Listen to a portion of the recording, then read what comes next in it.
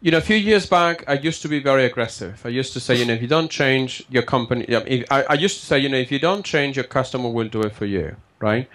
Uh, nowadays, what I keep telling people about is that you need to evaluate, as a company, as an organization, where you want to be in 30 years.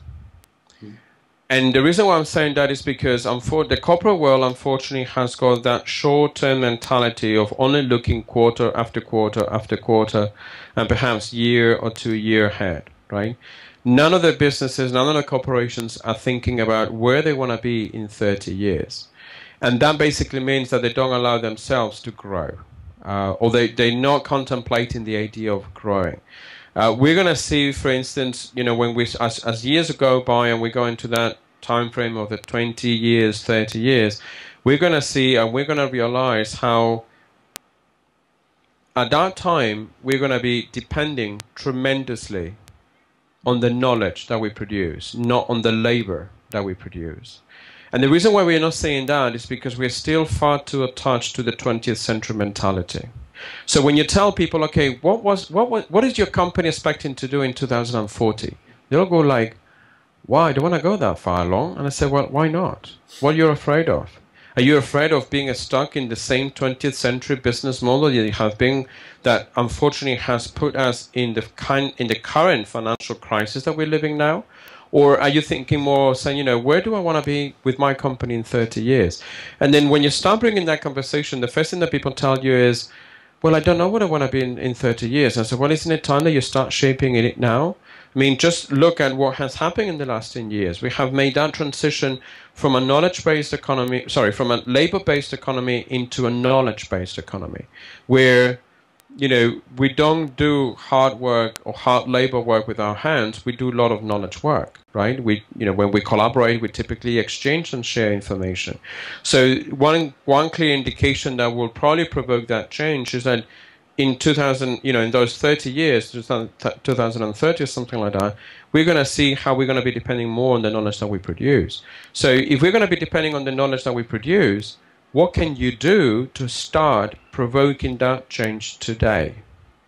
So that's when I tell people, you know, you need to evaluate as a company whether you are a collaborative company or not, whether you have got that mentality or not. And if you don't have that mentality, how you're going to push for that mentality. And, and the way that I keep telling people about is that the easiest way to start making that change is by focusing on the problems that you have today and how you're going to solve them, not today, but then for the rest of those 30, 40 years.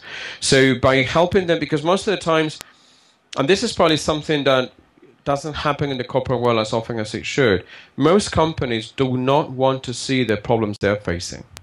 They don't want to see them. They don't want to see their failures. And the reason why they don't want to see their failures is because if they see their failures, their customers will as well, and they're afraid that they will run away. And so, well, if you're not doing anything about it, of course they're going to run away.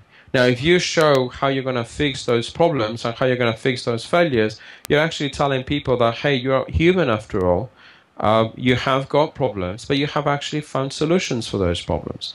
So what I keep telling people is, you know, that level is, is you know, if you want to change the corporate mentality, address the problems that you have in an open manner. And then they say me, okay, but how do I do that? Because, you know, my executives are not going to tell me what's wrong with the company. And I say, yeah, your executives are not, but your population of workers is going to tell you very blunt what's wrong with the company, right?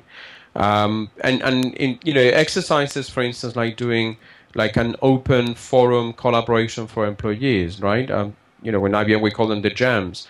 Uh, but having that opportunity of spending time where you can tell people, hey, during the course of three days, five days, we're going to identify problems that we're facing in the business.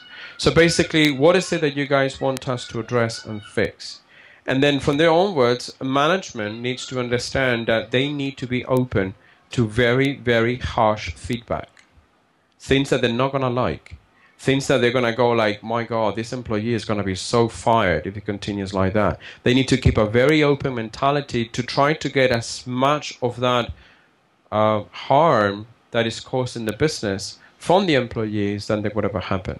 And then from there onwards, once the employees tell you what problems are there, you can then discuss how you're going to prioritize them, how you're going to fund for them, how you're going to solve them with the various different groups and everything else. But always, always involve the people who identify the problem.